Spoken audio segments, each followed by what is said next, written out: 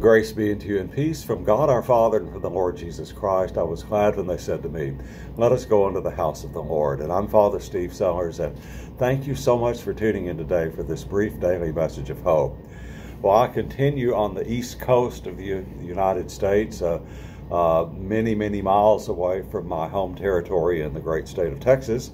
Uh, and I've been thinking today, you know, when I get away for just a few days to visit family like I'm doing now, uh, I'm reminding myself about how distracted I get uh, in my normal routine.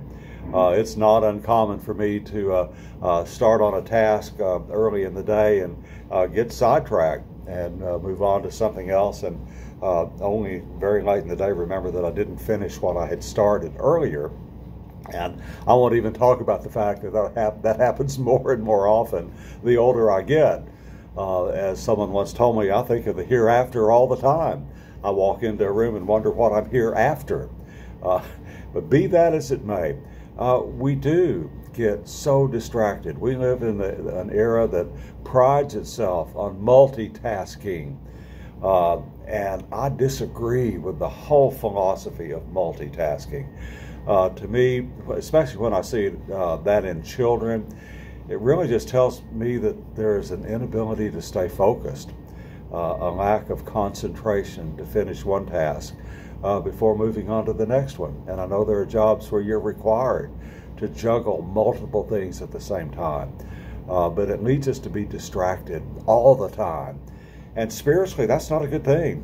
When we take our eyes off the Lord, we get in trouble uh, quickly uh, and so we first of all must remember to stay focused on the one who created us and knows everything about us and loves us and is with us all the time.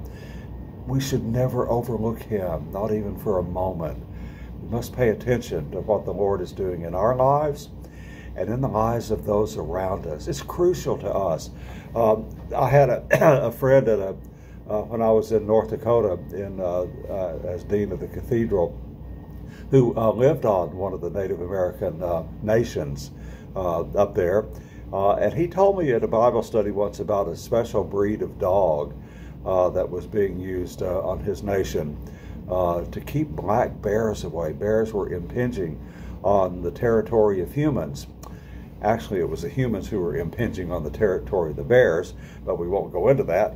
Uh, and there's a special breed of dog from Finland called the Karelian bear dog. These dogs are specifically bred uh, not to fight with bears.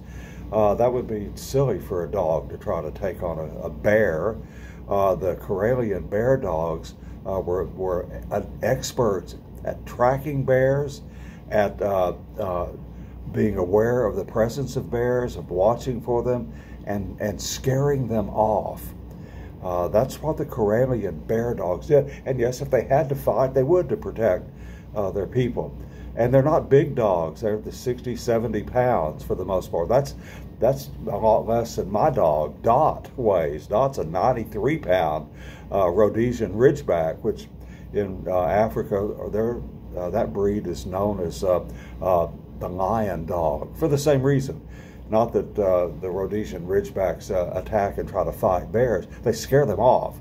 Uh, and in a pack, they, they really can scare bears away from a territory. And in, in the case of Dot and her breed, uh, lions. But the Karelian bear dog uh, uh, was adept at tracking bears. And so my friend was telling me that uh, there was one dog that uh, started sniffing and picked up a bear's scent immediately and, and just headed off after it. Uh, and then he noticed as the bear uh, went a different way. And he found out later that the bear came across the scent of a deer and went chasing after the deer and, and was uh, tracking the deer. Uh, and then came across the scent of a wolf and veered off and started following the scent of the wolf. Uh, and veered away again, following the scent of a, of a, a rabbit, and was uh, chasing down the scent of a rabbit and then came across uh, another scent and went that way. And when he caught up with the dog, the dog was barking and pointing at, a, at the hole where a field rat was. So the dog set out in search of uh, a bear to protect his people and wound up barking down the hole of a field rat. Uh, and Uh, my friend said that that's what we do, and it is. We have big plans sometimes each day, but when we take our eyes off the Lord, we wind up howling uh, at field rats in our life.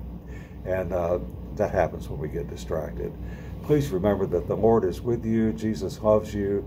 Uh, keep your focus on Him. He's not going to lead you astray. When you have questions or concerns during the day, ask Him.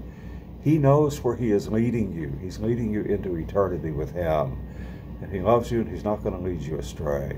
And when we remember that, we can keep our focus, keep following the scent of the Lord into the world where He is already at work and needs our help especially with those who have so much less than we do. I hope you have a blessed day today, and God willing, I will see you here again from the east coast of the United States uh, tomorrow. Have a blessed day.